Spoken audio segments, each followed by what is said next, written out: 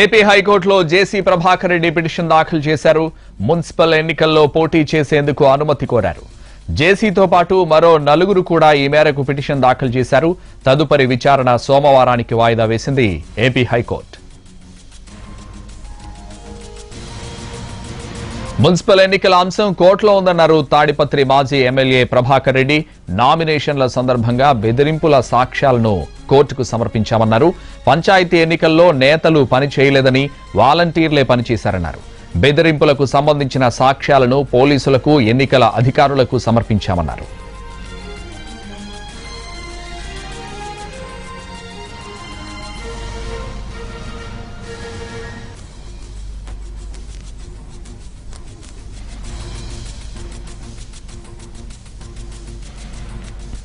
AP హైకోర్టులో JC Prabhakar Reddy petition దాఖలు చేశారు. మున్సిపల్ ఎన్నికల్లో పోటీ చేసేందుకు అనుమతి కోరారు.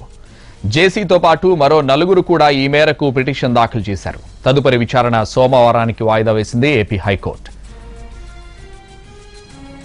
మున్సిపల్ ఎన్నికల అంశం కోర్టులో ఉందన్నారు తాడిపత్రి మాజీ ఎమ్మెల్యే ప్రభాకర్ రెడ్డి.